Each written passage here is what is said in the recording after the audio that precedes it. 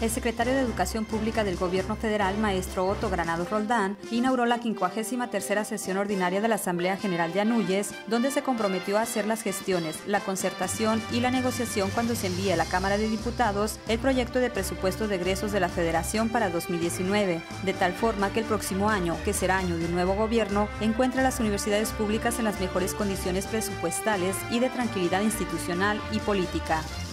Reitero, la CEP actuará eh, de manera muy decidida por sí y eh, con las autoridades hacendarias para que podamos entre todos contribuir a un nuevo esquema mucho más eficiente para las universidades, para el país y para la población a la que atendemos. En el evento inaugural participaron también el subsecretario de Prevención y Participación Ciudadana de la Secretaría de Gobernación, José Luis Estein Velasco, y el presidente de la Comisión Nacional de los Derechos Humanos, Luis Raúl González Pérez. Ante 141 rectores y directores de universidades e instituciones de educación superior, el titular de la SEP se dijo consciente de que existen enormes desafíos en la educación superior que deben ser abordados y atendidos, como es el hecho de que diversas universidades enfrentan una compleja problemática presupuestal de carácter administrativo y financiero. De nuestra parte, de parte del gobierno federal, haremos un gran esfuerzo para evitar que los problemas estructurales de esas instituciones entorpezcan su operación y tengan consecuencias sobre los procesos educativos y afecten, por lo tanto, la gobernabilidad y la estabilidad institucional. Para el desarrollo de la sesión, el rector de la Universidad Autónoma de Sinaloa, doctor Juan Elogio Guerraliera, fue nombrado vicepresidente de la misma.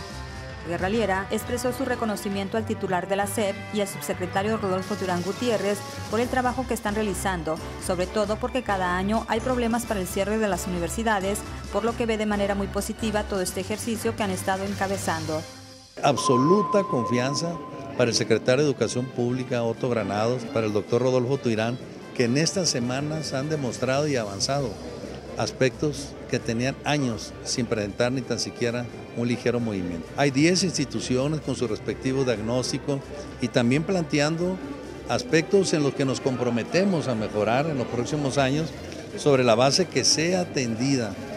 el reclamo social sobre el presupuesto en las instituciones con más transparencia, con más fiscalización. Guerrillera se refirió también al papel que ha desempeñado el titular de Anuyes, Jaime Valls Esponda. Valls ha sido clave en esto, ha sido un líder que ha tenido la capacidad de la interlocución, primero al interior de Anuyes, y que esto nos ha permitido hoy estar precisamente en ese camino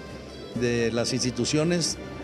que no pudieron pagar aguinaldo, que no pudieron pagar salarios, en la posibilidad de plantear y resolver una situación estructural que nos permita a nosotros también mostrar nuestra disposición, pero a la vez ser apoyado por el gobierno federal. Durante el evento, el secretario general ejecutivo de la NUYES, maestro Jaime Valsesponda, hizo una solicitud específica al secretario Otto Granados. Conocemos su enorme compromiso con la educación y con el desarrollo de nuestro país.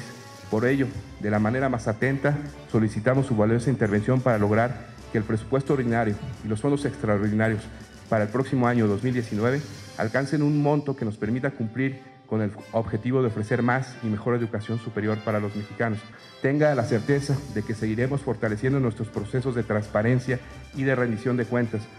Al término de la sesión ordinaria de la Asamblea General de Anuyes, se llevó a cabo de manera inmediata una sesión extraordinaria para desahogar el punto de aprobación a la modificación de artículos del Estatuto de la Anuyes.